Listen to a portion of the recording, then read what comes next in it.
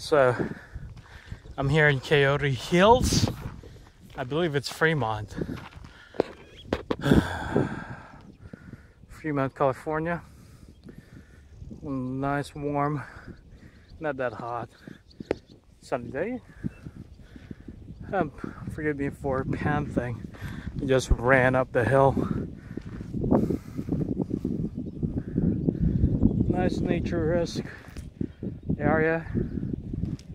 This part is for mainly hiking in only, but there is indeed a bike trail down below. So this is my first time here.